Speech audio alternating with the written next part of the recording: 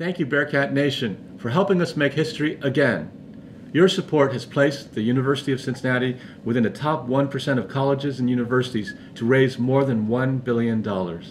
And now your generosity has given us another reason to be proud. In February, when I announced publicly that we raised more than a billion dollars for UC, I then challenged all of you to rally around a new goal of reaching 100,000 campaign supporters, and you rose to the occasion. This is truly a remarkable accomplishment. In fact, let me spell it out for you.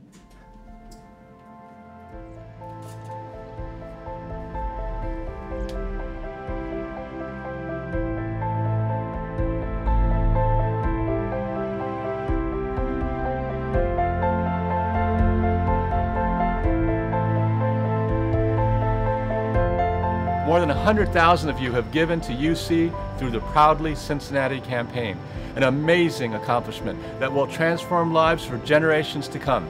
From scholarship and research funding to support of our world-class educational opportunities, medical care, and athletic excellence, we're absolutely the hashtag the hottest college in America. And it wouldn't be possible without your unprecedented generosity and involvement. Thank you for making Proudly Cincinnati the most successful campaign in UC history. And thank you from me to you for being part of our family.